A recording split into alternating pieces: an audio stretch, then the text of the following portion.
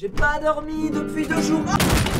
Les amis, j'ai découvert une histoire formidable. Connaissez-vous l'histoire du pain maudit de Pont Saint-Esprit Vous en avez peut-être déjà entendu parler puisque ces derniers mois l'affaire est sortie un peu euh, dans quelques médias. Et surtout elle fait sensation parce que le mystère n'a toujours pas été expliqué. De quel mystère vais-je parler? Attendez, soyez patients, commençons l'histoire. Connaissez-vous la ville de Pont Saint-Esprit Moi je connaissais pas avant cette histoire pour être franc avec vous. Il s'agit d'une petite ville du sud de la France. En 1950 il y a environ 4000 habitants. Il y avait 3 médecins, ce qui est pas beaucoup, ça fait un médecin pour 1000 personnes. Faut pas avoir une angine en même temps. C'est assez rural, ça vit essentiellement de la viticulture et la ville est très connue pour son pont, tellement connue pour son pont que le mot pont est même dans le nom de la ville. Pourquoi le pont est connu? Parce que l'histoire raconte qu'il aurait été construit par le Saint-Esprit contre la volonté du diable qui ne voulait pas qu'il y ait de pont. Alors je pense que si ces deux entités existent, elles s'en battent un peu les couilles d'un pont. Après c'est mon avis, mais petit problème, le pont a été bombardé par les Américains pendant la guerre et du coup il y a plus de pont. Donc les habitants, les spiritains, je crois, ils s'appellent Spiritini, Spirit merde, ils sont plus trop fiers parce que ce fameux pont est détruit même s'ils en construisent un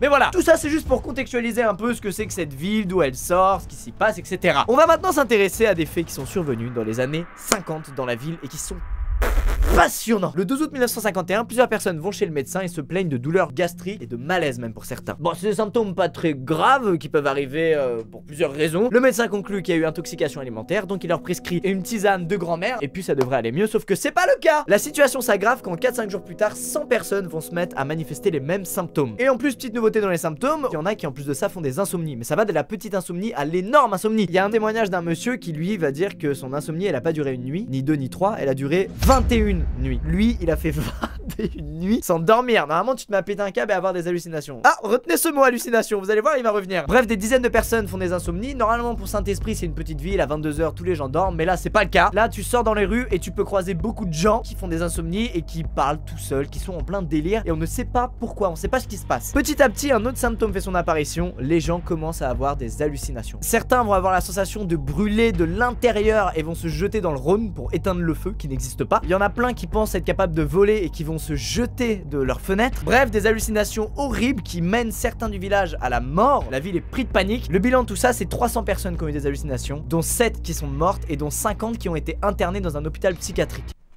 Qu'est-ce qui a causé ça? Alors face à ça, les médecins, ils perdent un peu leurs moyens, ils comprennent pas ce qui se passe. En plus, je le rappelle, ils sont que 3. L'infrastructure de Pont Saint-Esprit, elle est clairement pas faite pour gérer 300 personnes qui font un bad trip en même temps. Cette nuit-là, les victimes, elles sont de plus en plus nombreuses et en plus, elles sont de plus en plus incontrôlables. C'est vraiment des gens qui sont dans la démence, qui délirent totalement, qui bougent dans tous les sens, qui hurlent. Et c'est là que naît le mystère de Pont Saint-Esprit. Il y a donc une enquête qui est ouverte et la première piste qu'on a est découverte par un professeur de médecine qui était en vacances au moment des faits, qui se rend à Pont Saint-Esprit et qui fait le rapprochement entre les symptômes des victimes et une vieille maladie qu'on surnomme le mal des ardents ou le feu Saint-Antoine, qui est une maladie qui date du Moyen Âge et qui avait apparemment complètement disparu. Il y a d'ailleurs pas mal de tableaux qui montrent des scènes horrifiques de gens qui sont victimes de cette maladie-là. Alors le vrai nom de cette maladie, c'est pas le feu Saint-Antoine, qui est un surnom parce que les victimes de la maladie ont l'impression de brûler de l'intérieur, c'est l'ergotisme. Le responsable de l'ergotisme, c'est l'ergot du seigle, qui est un champignon qui va se mettre sur le céréal, et quand tu l'ingères, tu vas avoir des symptômes très similaires à ceux qu'ont eu les habitants de la ville de Pont-Saint-Esprit le 24 août 1951. L'enquête va ensuite montrer que toutes les victimes de ces symptômes ont un point commun, elles ont acheté leur pain dans la même boulangerie. Est-ce que le pain aurait été confectionné à partir de farine contaminée par l'ergot de seigle? C'est possible, surtout vu le contexte, on vient de sortir de la seconde guerre mondiale, la France est en pleine famine, c'est une galère de nourrir tout le monde, donc la ressource principale c'est redevenu le pain. Cette piste de la contamination par l'ergot de seigle semble être la bonne. Le commissaire Sigaud de la police judiciaire de Montpellier est chargé de l'enquête et va donc aller vers la boulangerie qui semble avoir vendu le pain à tous ses habitants. Petit bémol, les boulangers ne choisissaient pas leur meunier, c'est-à-dire qu'ils recevaient de la farine d'un meunier qui leur était attitré, ils savaient pas d'où ça venait, donc c'est pas sa faute. Là, le commissaire Sigaud, lui, il est malin, il en a dans le ciboulot, et il va retrouver le minotier qui a confectionné cette farine, Monsieur Maillet. Il va l'interroger et bien le brusquer à tel point que euh, Monsieur Maillet va faire des aveux alors qu'il a rien à se reprocher. Vous savez, les enquêtes où c'est très très médiatisé, où il y a beaucoup d'enjeux, on veut absolument trouver un coupable, quitte à ce que quelqu'un fasse des aveux alors que c'est pas lui le coupable, on s'en fout. Mais il faut qu'il y ait un coupable aux yeux de la presse et de la population. Jusque là, tout va bien, le mystère est résolu, sauf que un mois plus tard, l'expertise innocente Monsieur Maillet. Parce que les farines ont été analysées et il n'y a pas d'ergot de seigle dans ces dernières. Et là, c'est très frustrant parce que l'affaire s'arrête là. Il y a plein de pistes, mais elle mène à rien. Et les habitants de Pont-Saint-Esprit n'ont pas de réponse à leurs questions, ils sont comme des cons. Étonnamment, on va pas reparler de l'affaire pendant 60 ans. C'est seulement en 2010 que quelqu'un va reparler de l'affaire et c'est pas un français, c'est un américain qui s'appelle Hank Albarelli et qui enquête à ce moment-là sur la mort dans les années 50 d'un biochimiste de la CIA, Frank Olson. Alors là, vous allez me dire, mais où est le rapport, Lucas? On comprend plus là, on sait plus. Attendez, ça arrive Patience Frank Olson, qui bosse pour la CIA, est un spécialiste des drogues dures et mène de nombreuses expériences pour étudier leurs effets dans le but d'en tirer profit. Et comme par hasard, Frank s'est rendu en France quelques mois avant la tragédie de Pont-Saint-Esprit. Peu de temps après son passage en France, Frank entre dans une énorme dépression et répète à sa femme qu'il a commis une terrible erreur et il décède dans les années 1953 sans qu'on sache ce qu'il voulait dire par j'ai commis une terrible erreur. Peut-être empoisonner un village qui n'a rien demandé, Frank Hank, qui je le rappelle enquête du coup sur la mort de Frank, va faire un rapprochement. Et si la CIA avait pulvérisé du LSD sur le pain de Pont-Saint-Esprit dans le but d'en étudier les effets à grande échelle? Je sais ce que vous pensez. Pour le moment, ça vous paraît débile et inconcevable. Mais attendez, attendez, j'ai des infos pour vous. On va rentrer un peu dans la chimie, mais vous allez voir, c'est là où on se dit que cette idée, elle paraît pas si comme. Il faut savoir que l'ergot de seigle contient des alcaloïdes, dont un en particulier celui de l'acide lysergique. Ça vous dit rien, c'est normal moi aussi, mais il faut savoir que le LSD, c'est un dérivé de l'acide lysergique. Donc les effets de l'ergot de seigle et les effets du LSD sont très similaires. Ça vous paraît donc moins bête que les habitants de Pont-Saint-Esprit n'aient pas été empoisonnés à l'ergot de seigle, mais aient peut-être été drogués au LSD Pourquoi pas, mais ça manque de preuves.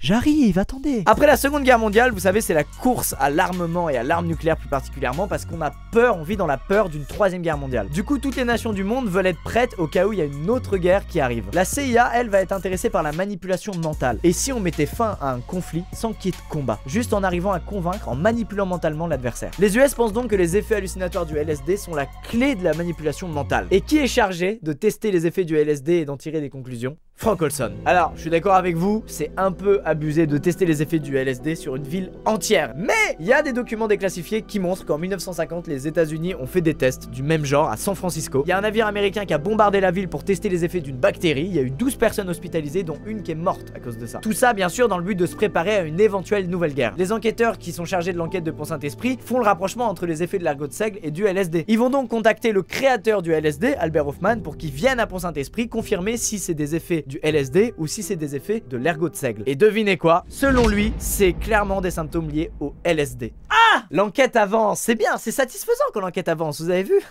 Attendez, elle va très vite arrêter d'avancer. Quelques jours plus tard, Albert Hoffman revient sur ses propos et dit qu'il s'est trompé. Que tout ça n'était pas lié au LSD mais à autre chose.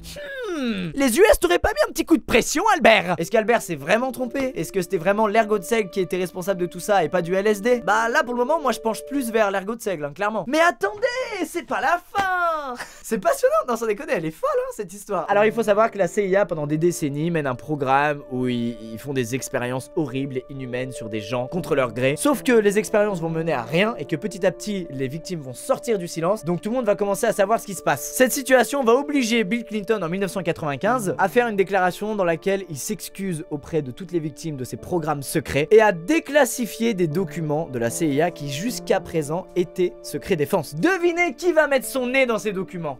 Hank Et bah oui, ça va peut-être l'aider à comprendre comment Frank Olson est mort. Hank trouve un document sur lequel on trouve et le nom de Frank Olson, et dans ce document, deux paragraphes parlent des événements tragiques de 1951 de Pont-Saint-Esprit. Et tous les paragraphes suivants sont, eux, grimés de noir pour qu'on ne puisse pas les lire. Merde Alors, est-ce que c'est un hasard? Ou pas qu'un document parle et de Frank qui étudie les effets du LSD et de la ville de Pont-Saint-Esprit Bah on sait pas. Peut-être que Frank a tout simplement été au courant de ce qui s'est passé à Pont-Saint-Esprit et a étudié tout ça en se disant c'est du LSD qui a causé ça, on va quand même regarder les effets que ça a eu. Même si ce n'est pas lui qui a donné le LSD à Pont-Saint-Esprit. Petite cerise sur le gâteau, Hank va trouver un autre document dans lequel un employé du laboratoire Sandoz, le laboratoire pour lequel travaille Albert Hoffman qui a découvert le LSD, échange avec un agent secret américain. Et dans ce document, le dirigeant du laboratoire aurait avoué que les événements tragiques de Pont-Saint-Esprit ne seraient pas liés à l'ergot de seigle, mais bel et bien au LSD. Fake ou pas fake, on ne saura jamais L'enquête aujourd'hui s'arrête ici. Le mystère reste total et c'est horrible parce qu'il y a quand même eu des morts. C'était vraiment une catastrophe, on se rend pas compte, mais c'était la folie là-bas à Pont-Saint-Esprit. Ça avait rien de positif tout ce qui s'est passé. Déjà, la drogue de base, c'est de la merde, mais quand en plus t'es drogué à ton insu alors que t'as rien demandé et que t'as des effets mais hallucinants, c'est le cas de le dire.